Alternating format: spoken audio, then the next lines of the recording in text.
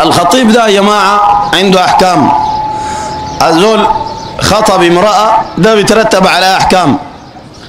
أول شيء ما بجوز لغيره أن يخطب هذه المرأة مع علمه. مرة خطبوها خلاص خطب واحد الثاني ما بجوز. ليش نجي خاش دار يخطب. واحد. اثنين هذه الخطوبة هي مقدمات للزواج للعقد وللزواج. وأحكامها ليست مطابقة تماما لأحكام العقد. يعني انت بعد تاني خلاص بقت زوجتك تاني أي شيء حلال. أي شيء حلال في بالنسبة للشيء الحلال يعني. لكن مخطوبة دي إنت عندك حد معين مخطوبة دي جيت سألت منها وكذا وكذا من بعيد سلام عليكم وعليكم السلام وهو إلى آخره وشافتك وشفتها وخلاص. ده تنظر لك وإنت إنت تنظر لها بعد ذاك لحديث المغيرة بن شعبة رضي الله عنه فإنه أحرى أن يؤدم بينكما. ده الموضوع. لكن تاني ما كل يومين شايل لك كيس موز وماشي. أنا دار ألاقي خطيبتي. يا ود الموز ده بزليك كن أنت الموز جايبه ليه؟ شايل له موز وماشي. خطيبتي وينها؟ ويودونا يقول لك أزول خطيبة. قاعدين في الحوش بغادي براون.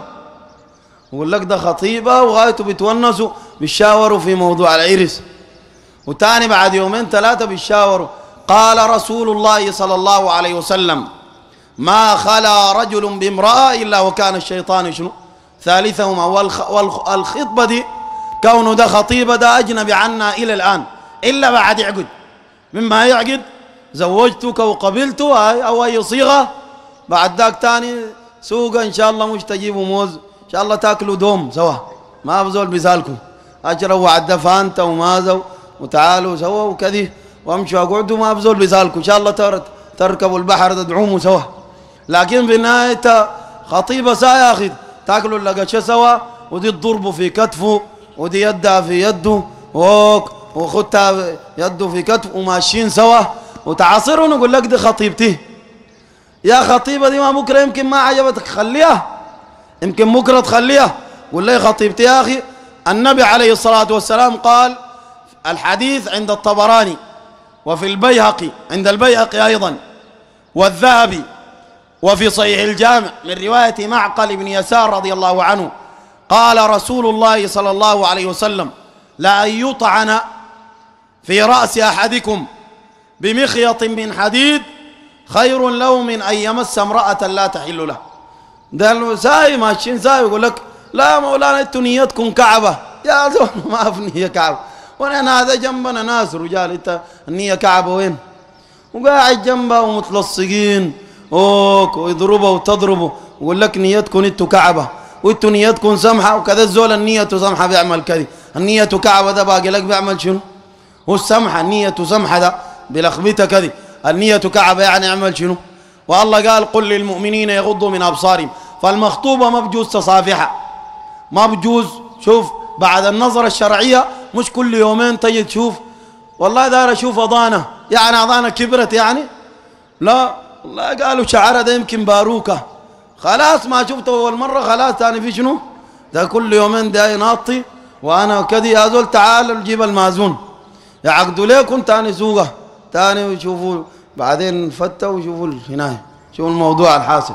لكن تقعد تلف وتدور المخطوبة دي حكمها حكم الأجنبية في شرع الله سبحانه وتعالى. بعدين البيت ذاتها انت تختار بيت صاحب الدين. مش بيت تجوبك لك زي. تمشي البيت سوق انت تعبان وانت جاي تلقاه يا زول. وعليه الصحابة ذيل كان عندهم غيرة. والله في رجل تزوج في المدينة وكان شاب وكانوا الصحابة بيحفروا الخندق. حديث أبي سعيد الخدري رضي الله عنه. الصحابة بيحفروا في الخندق معاون النبي صلى الله عليه وسلم. والشاب ده يتزوج جديد.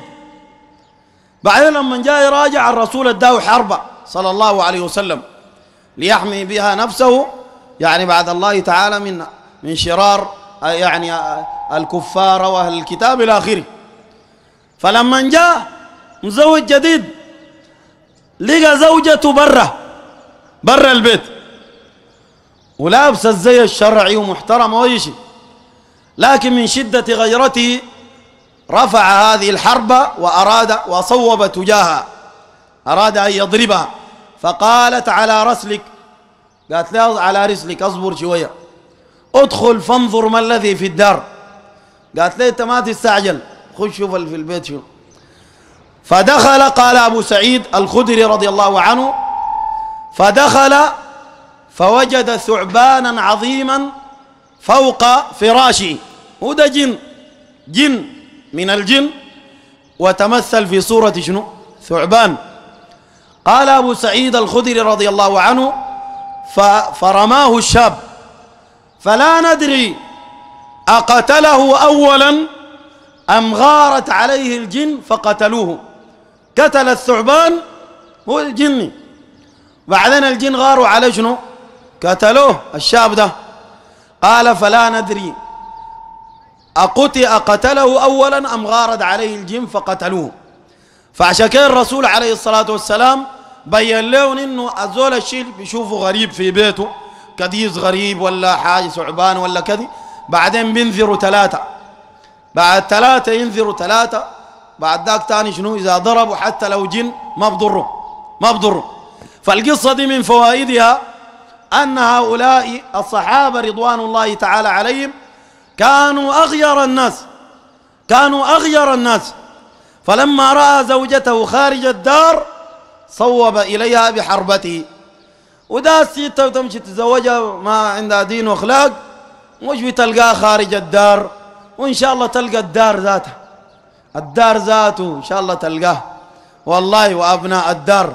فالموضوع بطول فتختار صاحبة الدين والخلق تمشي. بعدين تمشي الرؤية الشرعية. انت قال لو ما فصلا زي شرعي كان بيكون في رؤية شرعية؟ وهي قد يكون في لكن في النهاية ده, ده, ده يوريك إشارة على إنه الزي الشرعي. الزي الشرعي إنه المرأة قال تعالى وإذا سألتموهن متاعا فاسألوهن من وراء شنو؟ حجاب. لأنه المرأة محجبة. عشان كذا الرؤية الشرعية في الخطبة بتمشي بترى رؤية شرعية. وإلا لو كان أصلا هي المرأة أنت بتقعد معاه وشايفها في وشها وشايف وشها ومرات الطرحة ترخية مرات هي قاصدة ترخية وترمية ومصايب تانية ومرات غير قاصدة. فأصلا ما كان أنت بتحتاج لرؤية شرعية.